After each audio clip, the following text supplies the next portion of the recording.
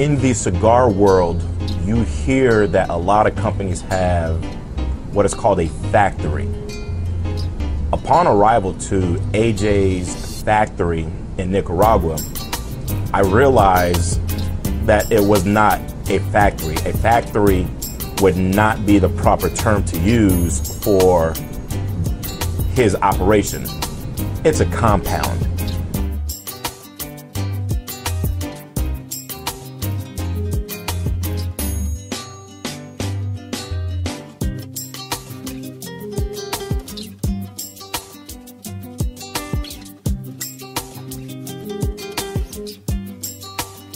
As soon as we entered the gates of his compound, I already knew that this was going to be a jaw dropping experience of the tobacco process. Uh, I just walked into AJ Fernandez's factory, the rolling process, and when I tell you this is a jaw dropping experience, check this out. Digan whisky, mujeres.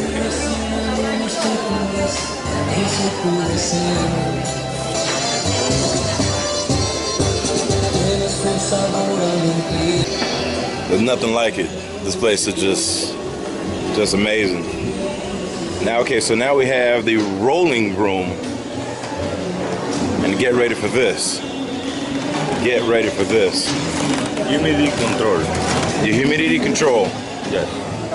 This the humidity is just I wish I can really explain this to you, but there's nothing like it. This is something that you have to experience. I mean, I can feel it in my knees. This thing, it, it just room alone feels amazing.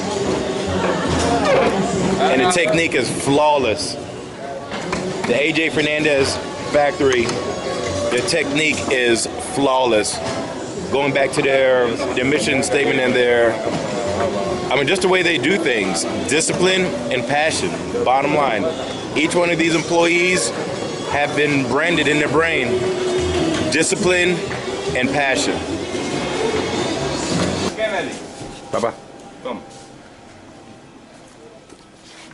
Only for the factory, for three years. Mira, aquí hay para tabaco para tres años. ¿no? Todo es ligero. Todo esto, están organizando todo esto. para toda la compañía. 2011-2012. 2011-2012.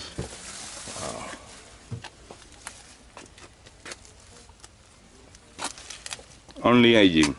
Well, Oh my God. Wow. wow. Como perfume. mira ese tigre. Tres años lleva aquí añejándose. Con Been three years. Three years? It's been the three years. Now, what is a pilon? A pilon is it's a pile of tobacco that is aged to perfection. It's a very important part of the tobacco process, the lifespan, and which is also referred to as the fermentation process.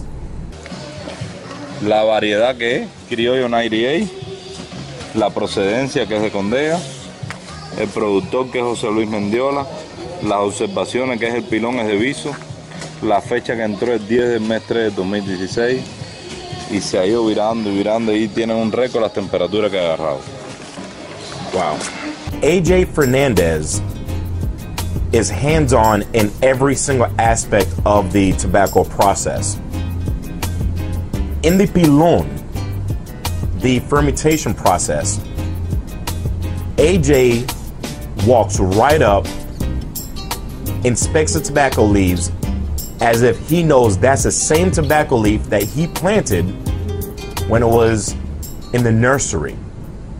Esta le puse una división porque esta es más vieja esta es. Ah, la última, la última que ha entrado. Entonces, para, para tenerla separada, ¿entiendes? Porque.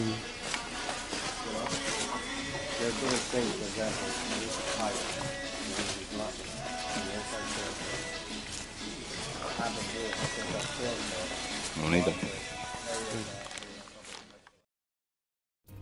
What I loved about the Pilon process was the respect you have to have for its lifespan. Those tobacco plants, even though they're in the fermentation process, they're still alive. Just because they are not in the fields does not mean that they do not have life. They are very much well alive. In fact, the moment you walk in, you are hit with this aroma. The aroma was so daunting that I had to wear a mask. Eric, I have this mask on me, which I'm going to put on. Could you explain to our viewers why is it that we wear these masks coming into the Pilon barn? Yeah, basically um, the the smell in here is kind of kind of rough.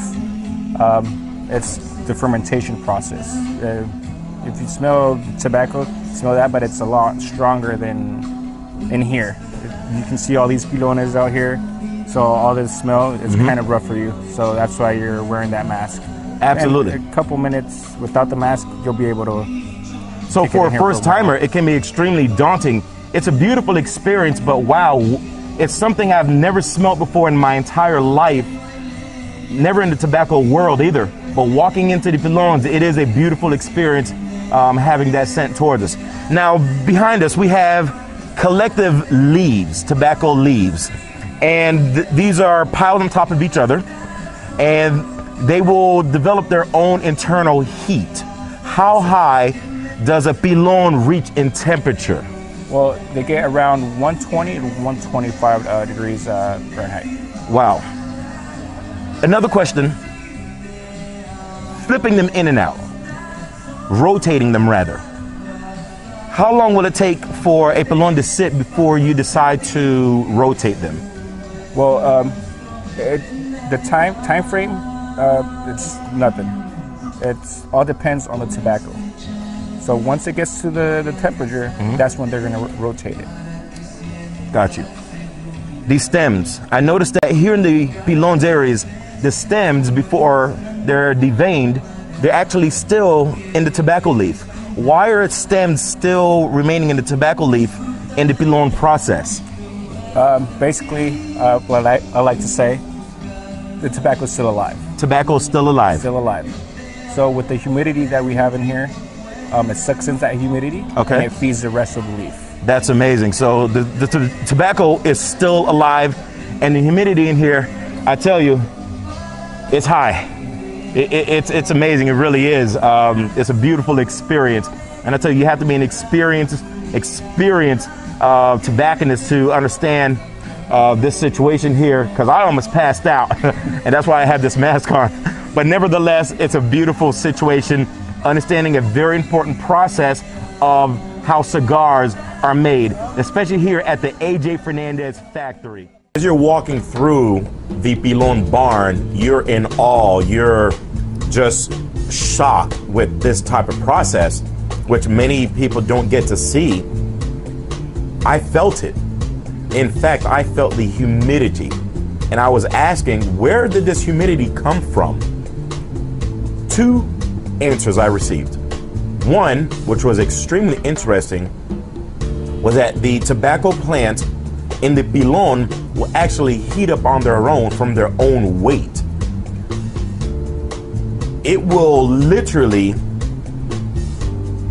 heat up as an oven.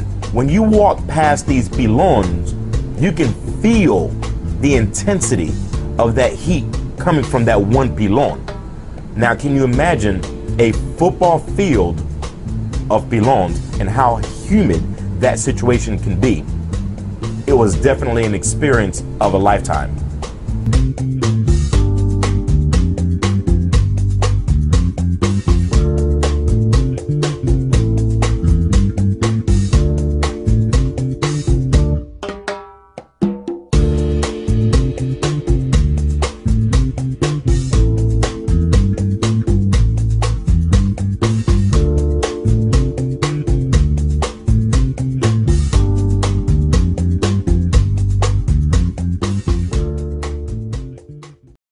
After leaves have come from the fermentation process, they are now to be sorted into categories of color, size, filler, binder, wrapper.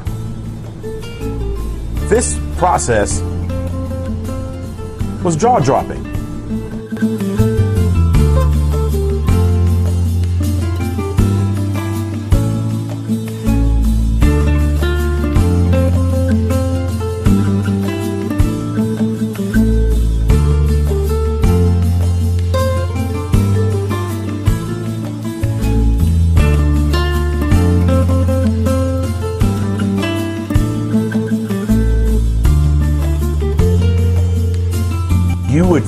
That it's easy to identify the colors of the particular leaves and that's it. By no means is that it. It is an extremely difficult process. It takes an experienced sorter of tobacco leaves to understand and to know and to identify how and what tobacco leaves go together.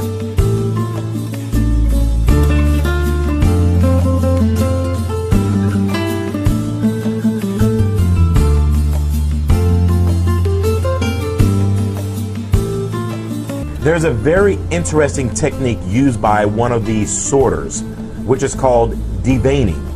Now, what does it mean to devein? To devein a tobacco leaf means to literally remove the center stem. But that's not it. What I realize is that filler tobacco and wrapper tobacco have two different deveining processes. Filler tobacco will have the bottom portion of that vein removed because they are going to be used for filler. The wrapper, however, that whole entire center stem is removed, and now that one leaf turns into two separate leaves, which will be used for wrapping for cigars.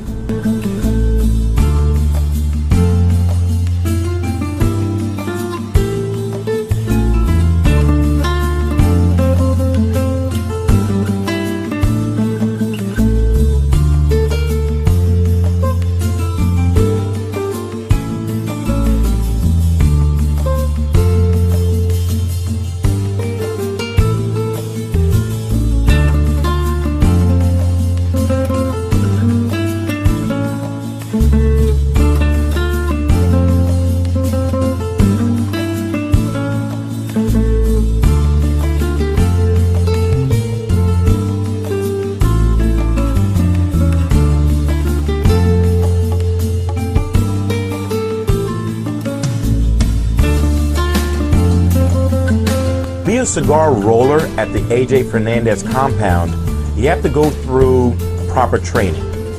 AJ Fernandez has an institution implemented inside of the compound where someone who wants to learn how to roll or learn how to become an inspector or the deveining process, all that is taught by trained and experienced individuals within the AJ Fernandez compound.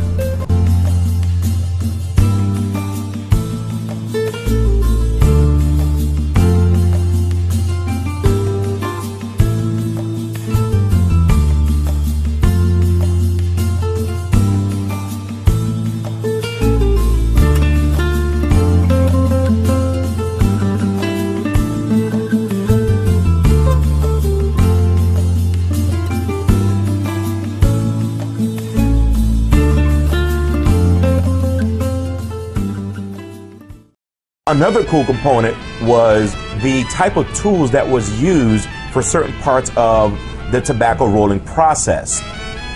For example, there's this tool that is called a chaveta.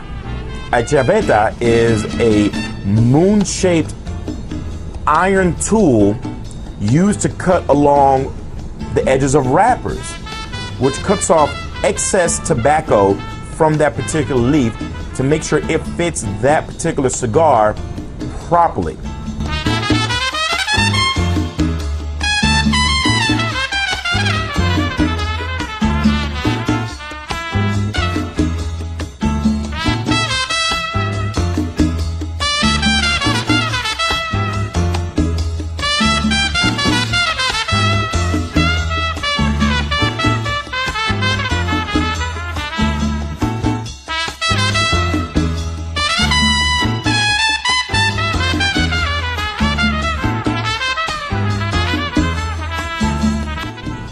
Goma is a odorless glue, which is indigenous to two growing regions in the world. One is Africa, and the other is Spain.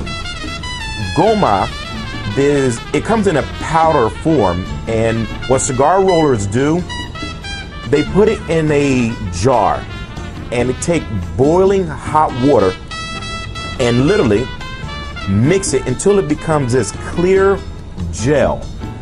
That clear gel is now what cigar rollers will use to bind the wrapper to the cigar, which is an amazing process to see. You would think that wrapper just goes on a cigar. No, there's a, entire processes that are required to make sure that that cigar is constructed to perfection.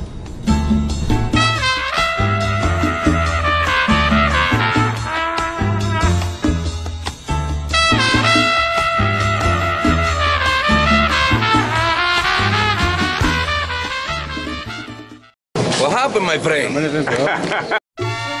With over 200 cigar rollers rolling tobacco, the question does come to mind how many cigars can be produced daily? How about 50,000 cigars? That's right. AJ Fernandez produces 50,000 cigars daily in his compound. So the other concern that comes to mind, knowing that 50,000 cigars are produced daily, is quality control. AJ Fernandez not only will walk around and do his own inspection of cigars, he has assigned inspectors that would literally walk up to that cigar roller and sit there and take the cigars that were rolled by that one particular cigar roller and literally by hand inspect every single cigar. After the first inspection, cigars are now passed on to another inspection, and then another inspection, and then another inspection. So, does quality control matter at the AJ Fernandez compound? You're damn right it does. ¿Qué pasó, minero? That's a term of endearment here in Nicaragua that um, I've acquired, and uh, I, I love when he, when he says that. So I simply reply, "Not a jefe." um, we're here in the barns, and AJ Fernandez is such a tactician when it comes to tobacco. He is um, world renowned for his expertise and his passion, and most importantly, his discipline in the world of tobacco. Mr. Fernandez, could you explain to us in this barn that we're in uh, with the misters, how important is that water that's coming out of the misters for this area of Pilons? ¿Qué, qué tan importante es la, esta humedad que está saliendo para lo- los pilones? Nosotros tratamos de el agua que el tabaco tenga el agua viva menos posible, ¿me entiendes? Entonces le mantenemos, dale, traduce eso primero. Um, you just mentioned right now he wants to have this water, as we mentioned, for um, the purest water um, for this process. Tratamos de mantener un, pusimos todos estos sistemas de humedad porque nos gusta fermentar el tabaco entre, a veces en estas áreas de capa, aproximadamente hasta 120% de humedad. Um, he likes th- with this um, humidity. He wants to keep this room uh, about 120% of uh, humidity um, for the wrappers, Para que todo el tabaco mantenga el- su grasa viva y vaya curando despacio, ¿me entiendes? Y sus aromas sean más perfectos. Basically, this is uh, for the aromas uh, and all the moisture on the tobacco and all that. Wow. I see AJ walk around this, the, um, the Pilons and, and, and the factory, and he'll stop, he'll pick up a leaf instantaneously and, and um, examine it. That's a very important process um, in the cigar world, um, and especially in the process, but more so as a expert, as a c- cigar expert. I just noticed that he just picked up a um, a bunch of tobacco leaves. What the what was he looking for? What does he look for when he picks up some of these um, tobacco leaves? Él dice que ha visto que usted viene siempre aquí a los pilones y siempre está viendo los tabacos que están aquí y que y los revisa. ¿Qué es lo que ve cuando mira la, la hoja del tabaco? No veo en el proceso de fermentación cómo está, cómo evoluciona. He says that he sees by looking at the uh, the leaf, he sees the process of the fermentation, how is the evolution going on it. Porque nosotros siempre lo dejamos un poquito más atrás del tabaco. Como trabajamos los tabacos mínimo con tres años de aging, nosotros no podemos lleva- llevarlo al full. Tenemos que darle un espacio para que él añeje mejor, ¿me entiendes? Um, we have to give it some space on the tobacco. That way, we like we ferment our tobacco at least two years. Has right. to give it that space um, for that uh, fermentation. Absolutely, man. It's a, just a jaw dropping experience being here um, in this particular barn. Now, the length of time that the misters stay on. How long will they stay on? Is it overnight? Is it consistent? Is it 24 hours? Eh, ¿Qué tanto están encendidos los? los- 24 horas. 24 hours. Around 24 24 hours. Wow.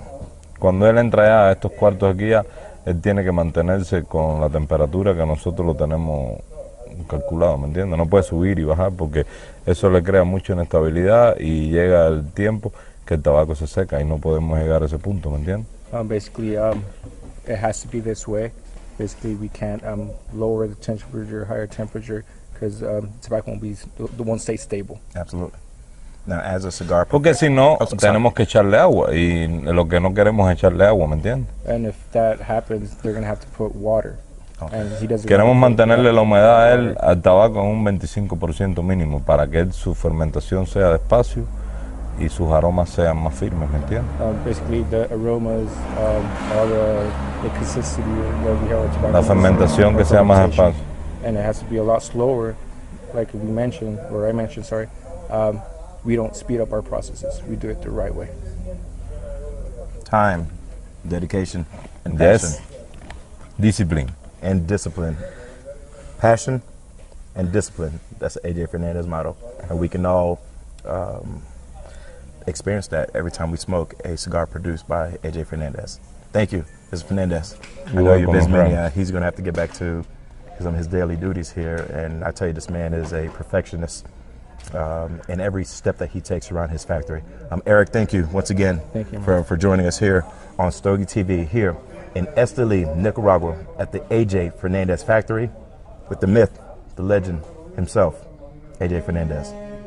Smoke well. Thank you. We go into AJ's office just to kind of relax, and one of his employees walks in and hands him some tobacco leaves. AJ took tobacco right there in the office, rolled it himself. Who would have thought that he knew how to roll cigars to perfection? He rolled that cigar and lit it right there in front of us in raw form. He was searching for what he considered to be qualities of a great cigar, early signs of a great cigar, and he did it right there, impromptu, in his office. That was amazing. There's, a- there's an urban myth in the cigar world about women rolling cigars or women only allowed in a certain section to handle tobacco. And here we are in a particular room where there's nothing but women. Um, could you explain this urban myth that we hear, this urban legend? Well, basically, sensibility, sensibility in their hands. Okay. They're they're they're able to work better with the, the cigars. You know, cellophane, you can cut uh, you can cut the, the wrapper, so they have more uh, sensibility by putting the, the cigar in the in the cellophane and stuff like that. Also, when they're uh, wrapping, uh, basically, most of the women are the ones that are rolling the the, the cigars. Um, they have more sensibility in their hands, and that way they can do a better job. So it is true that women are allowed only in certain areas to handle that, and they're the ones only allowed in that certain area um, to handle certain processes of the cigar due to their delicate um, fingers and uh, delicate um, hands and the way they handle cigars. So the urban legend is true. Yes, there are sections that women only handle in the cigar world in the cigar process. When you open up a cigar box for the first time or you see a cigar box on the shelf, you look at the presentation of those cigar bands and you ask yourself, how are those cigar bands matched? Is it done by a machine? Absolutely not. AJ Fernandez has women who are required to make sure every single cigar band is uniformed in that box before packaging. That one band individual is required to make sure every band, one by one, is uniformed by using a very simplistic measurement tool markings. Those markings will let her know that for this cigar, the bands need to be here. For this cigar, the bands need to be there. It's an amazing process to see that she will take her time to make sure every single band is uniform for the presentation of an AJ Fernandez product.